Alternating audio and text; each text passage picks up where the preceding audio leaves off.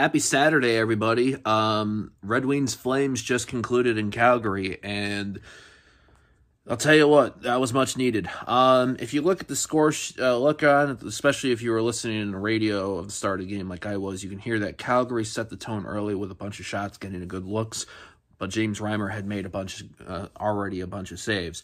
Uh, that changed um, in midway through the first period. Later on, when Patrick Kane um, took advantage of the power play, getting his ninth of the season on assist for Moritz Seider and Robby Fabbri. Um, one minute later, um, JT Compher made it 2 nothing to the Wings uh, after one. Uh, came 4 0 after two. Uh, Larkin on the power play from Kane and Gostisbehere. David Perron getting his 12th of the year um, from Andrew And Joe Veleno. Um, and then Lucas Raymond finished things off in the third period off an assist for Moritz Seider.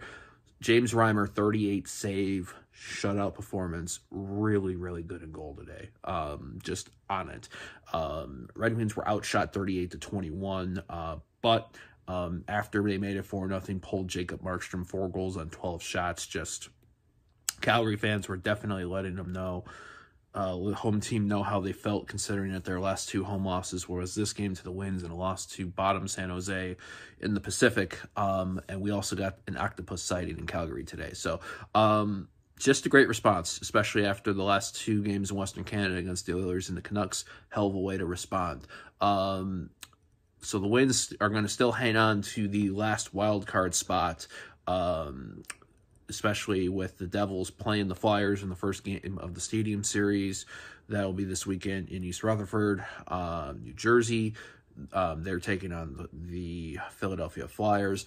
And also, they're catching ground, getting a little bit closer to Tampa Bay Lightning, who, as of currently, two periods are down 6 1 to Florida in Tampa.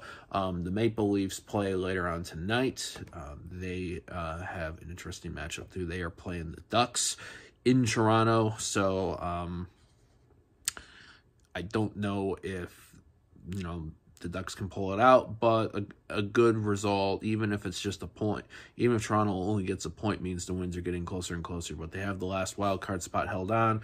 Um, the next game for the Red Wings is in Seattle, Monday afternoon, 3:30 p.m. Eastern. You heard that right. That is going to be on ESPN. It is President's Day, so um, the NHL will tends to on this day do uh, some earlier puck drops.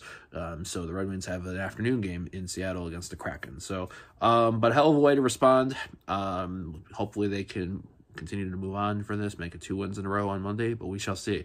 Um, that's it for now. Happy Saturday, everybody. Um, and let's go Red Wings.